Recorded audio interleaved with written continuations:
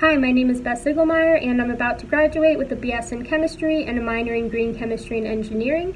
Um, over the past few years um, at Toledo, there have been so many opportunities for me to develop my career interests and also grow as a person.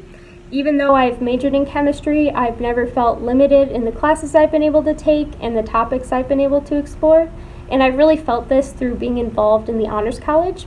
So through the Honors College, I've had the chance to take so many different classes that have helped me look at the world through different perspectives. And I've also been able to express my creativity as a chemist um, through, through completing a semester-long um, senior project. So my project involves analyzing samples from the Department of Chemistry's solvent recycling program and what's exciting is that the results from my project can actually impact the department even after I've graduated.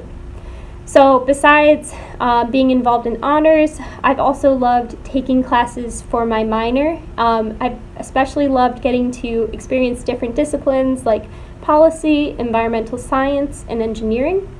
Um, and besides even taking classes for my minor, I've been able to explore my hobbies by taking two semesters of ceramics. So I, I've loved that I've been able to combine both my love of science and art at Toledo.